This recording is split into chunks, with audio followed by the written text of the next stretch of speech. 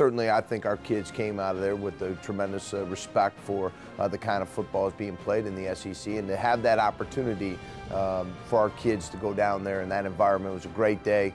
You know, it was uh, you know great setting. You know, couldn't have been a, a better environment for Division One A football, and I think our kids came away uh, with a much more uh, deeper appreciation for the level of football that's being played in that league.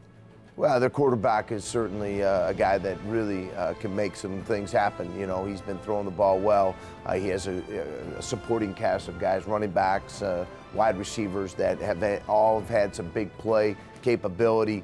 Um, you know, defensively, they rank as one of the top uh, one or two defenses in, in statistical categories, scoring defense.